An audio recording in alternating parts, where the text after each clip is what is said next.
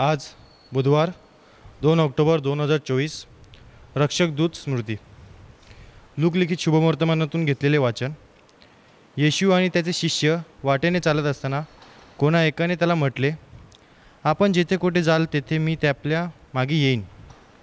येशू त्याला म्हणाला कोल्ह्यांना बिळे आणि आकाशातल्या पाखरांस घरटी आहेत परंतु मनुष्यांच्या पुत्राला डोके टेकवण्यास ठिकाण नाही.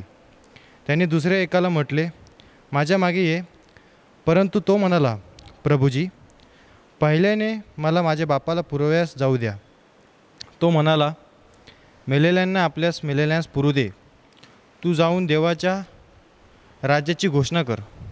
मग आणखी एकाने म्हटले प्रभूजी मी आपल्या मागे येईन परंतु पहिल्याने मला माझ्या घरच्या माणसांची निरोप घेऊ द्या. येशूने त्याला म्हटले जो कोणी नांगराला हात घातल्यावर मागे पाहतो तो देवाच्या राज्यास उपयोगी नाही. चिंतन? स्वर्गाच्या राज्यात सर्वात मोठा कोण? शिष्यांच्या ह्या प्रश्नाला उत्तर देताना येशू त्यांचे लक्ष लहान बालकांकडे वेधून घेतो. बालकांच्या उदाहरणाद्वारे येशू स्वर्गराज्यात कोणाला स्थान आहे हे त्यांना पटवून देतो. बालक हे निरागस असते निष्पाप असते ज्यांच्याकडे अधिकार नाही सत्ता नाही जे स्वतः निर्णय घेऊ शकत नाही. आईवडील नेतील त्या मार्गाने ती जातात व आपल्या सर्व गरजांसाठी आईवडिलांवर अवलंबून असतात. जे यशासाठी संपत्तीसाठी व नाव लोकांसाठी मिळवण्यासाठी झटत नाही. ती सदैव आनंदात असतात.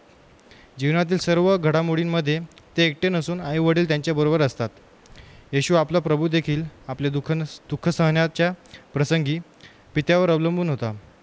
जगाच्या तारणासाठी क्रुसाला सामोरं जाण्याची त्याची पित्याची इच्छा त्याने पित्यावरील विश्वासदाखल मान्य केली.